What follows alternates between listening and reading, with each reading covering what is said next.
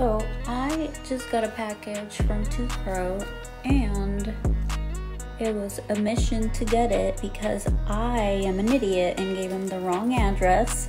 But I finally got it and let's see what's in it. This box comes from France.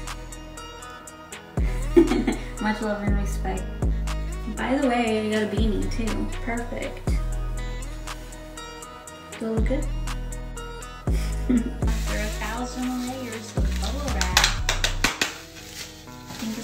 Here. it's framed. I love it. This is so perfect. Thank you so much.